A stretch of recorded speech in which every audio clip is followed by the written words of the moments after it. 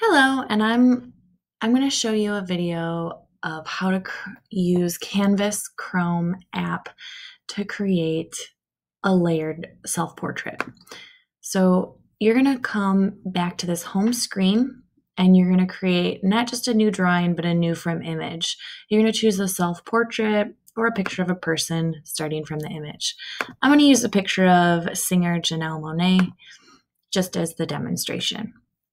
So here's Monáe. You can make it bigger or smaller depending on how you want to um, draw on top of it. You'll see that it has layers here in the upper right corner. And the first layer is the background. That's the picture that we uploaded.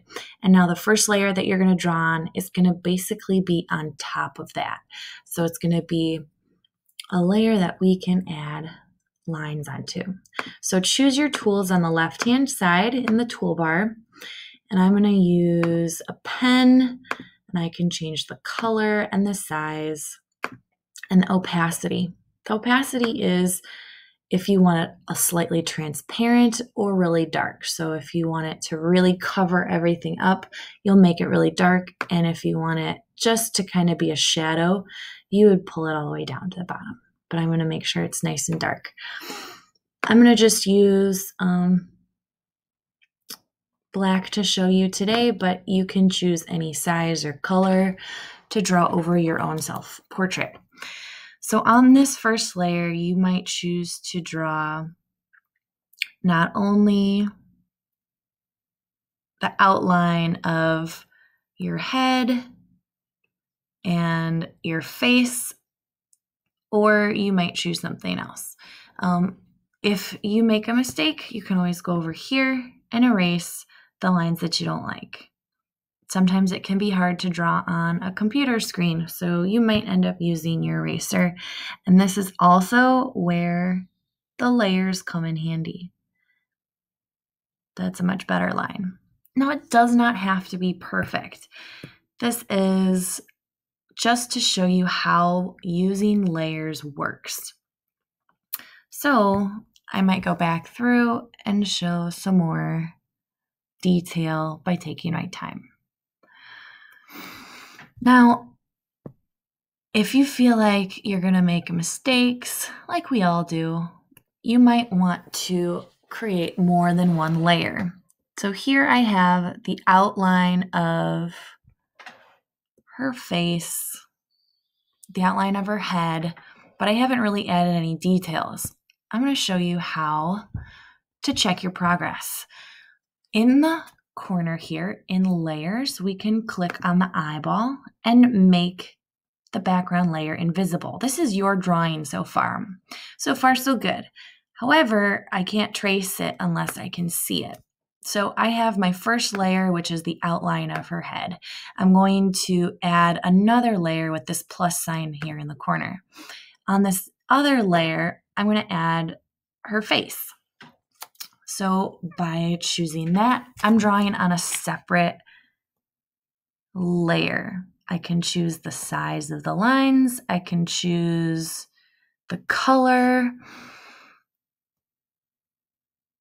And if I make a mistake, I won't be worried to erase something else. Let's say I didn't want this line here next to the eye, but you can see it's not erasing the outline of the head because we're on the separate layer. So that's a nice trick. So if you accidentally make a mistake, you won't erase the work that you already like. You might want lots of layers, you might only want a few. It's up to you. I'm just going to use a black outline for this tutorial, but like I said, feel free to add as many details with color and line type as you want.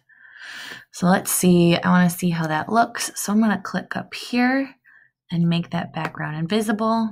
And those eyes look pretty good. Like I said, it does not need to be perfect.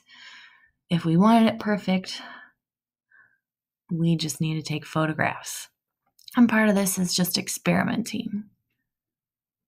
So we're drawing over the lines that kind of exist on the face. As you're drawing, remember you can add more layers and you can erase. There is no undo button, but the eraser tool is pretty easy to work, use and you can change the size of the eraser too if you need to get into a tight space. Let's see, I didn't want to erase all that. I can make that tool a little bit smaller.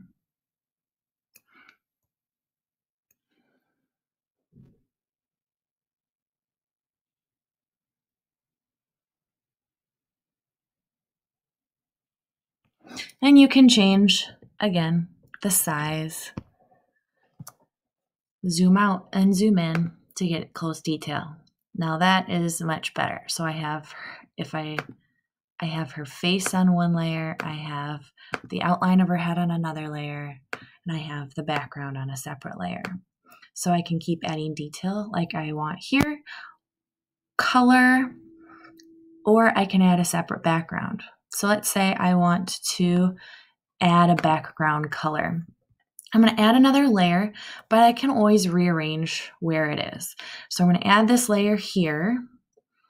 I'm going to get maybe the marker tool, or maybe I want some more texture. Let's see how this looks. I want a different color. Janelle Monáe is very bright and colorful, so let's maybe get a pink color here. I get a nice bright pink.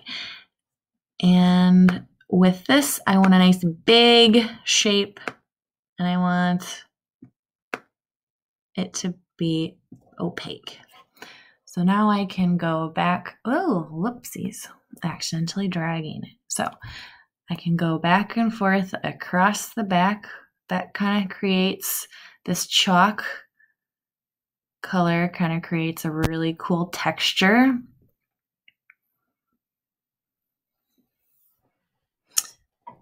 I like that. And this is just going to be the background. Right now, it just looks like I'm coloring over it because it's the layer that's on top.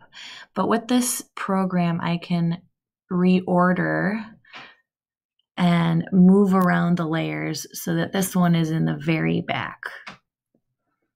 Since I'm not keeping the photograph in the picture, I can just turn that one invisible and reorder everything. Here, I'll show you right now.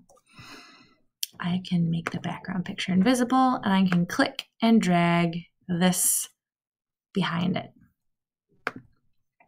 Now you'll see in the background there is these checker marks, these gray and white checkers. Those are just showing what's going to be invisible when it is shared.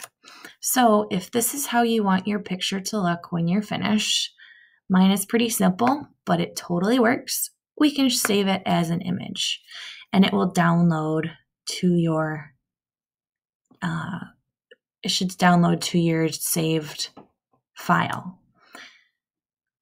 or you can go back to your home screen and it should show your picture and you can use your more options save as image. You can duplicate it and change it add more things there. All right hope that helps. Happy creating